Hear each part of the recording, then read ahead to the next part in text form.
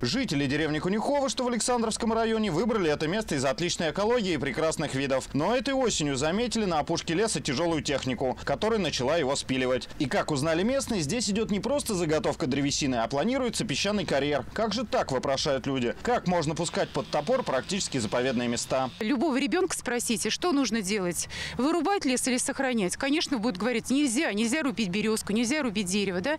Я понимаю, что промышленный подход имеет место, но в таких масштабах, как у нас тут вот в Александровском районе Владимирской области, вот рядом с нашими деревнями, ну, не должно такого быть, это просто лес изводится. Площадь леса, который пустят под топор, 50 гектаров. При этом по лесу уже прорубили дорогу к деревне Верхние Дворики, куда и будут возить добытый песок. Подрядчик, которого наняла компания, планирующая разработку карьера, показывает документы, в которых написано, что все по закону. То есть э, 46 гектаров получается? Нет, 48 здесь А, 40. и 1,8 гектара – это дорога.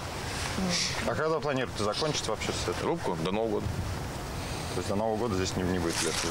Да. Заготовку я закончу до Нового года.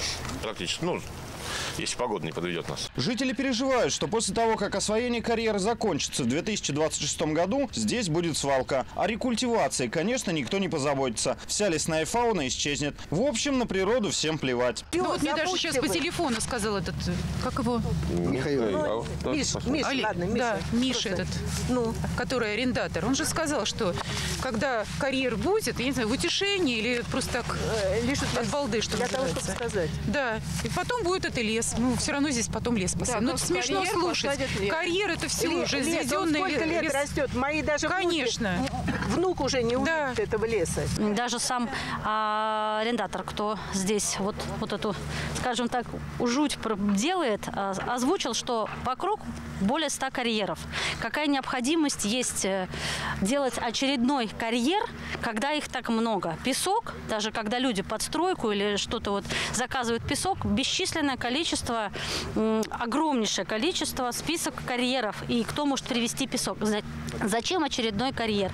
Именно убивают хороший лес. Люди, даже после предоставленных им документов, сомневаются в законности проводимых работ. По их словам, если ситуация не изменится, они готовы лечь даже под колеса тяжелой техники. С вопросами, насколько законно уничтожение природы, мы направляемся в Александровское лесничество, где нам поясняют, что компания ООО «Техтранс» абсолютно легально на основании договора аренды выполняет рубку леса, что в последующем сделает здесь карьер по добыче песка и гравия. Действия законные, потому что данный договор прошел государственную регистрацию.